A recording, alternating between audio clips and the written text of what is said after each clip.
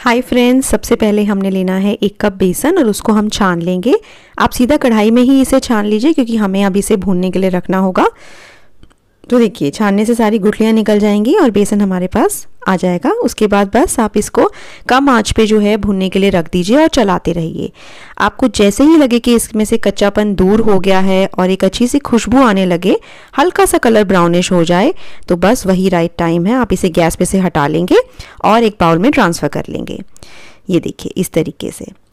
बस अब उसके बाद हमने लेना है एक कप गरम घी, और वो गरम घी हमने इसमें मिक्स करते जाना है, और बिना गुठली का एक मिक्सचर या बैटर हमें तैयार करना है। ये देखिए इस तरीके से।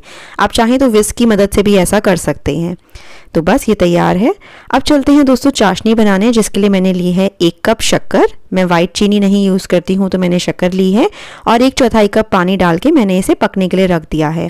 आपने इसे तब तक पकाना है जब तक इसमें एक तार, यानी कि देखिए किस तरीके से हम चेक करेंगे।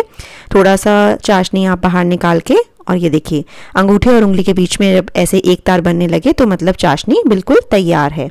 तो बस अब इसमें हम डालेंगे जो हमारा बेसन और घी का मिक्सचर था वो। और हाँ एक चीज़ का ध्यान ज़रूर रखें, गैस इस समय सबसे कम आँच पर रखें। और बस लगातार चलाते रहें इस मिक्सचर को।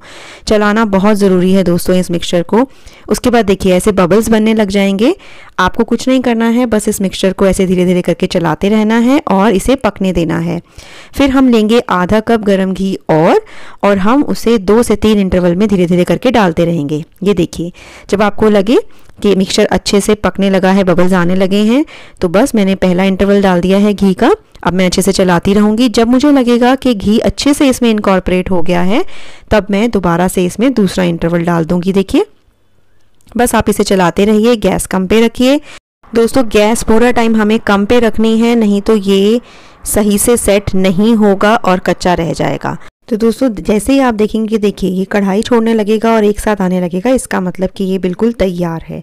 बस अब कोई देर नहीं करनी है। आपने फटाफट से एक बेकिंग ट्रे में या किसी भी ट्रे में आप घी लगा लीजिए या फिर पार्चमेंट पेपर बिछा लीजिए और इस मिक्सचर को फटाफट से उसमें ट्रांसफ़र कर लीजिए। बस अब हमने इसे ठंडा होने के लिए छोड़ देना है। तकरीबन 15 से 20 मिनट में ठंडा हो जाता है, लेकिन मैं एक घंटे बाद इसे काट रही हूँ। ये देखिए, एक घंटे बाद आप इसके साइड्स को काट लीजिए इस तरीके से, ये रिलीज़ हो जाएगा आराम से।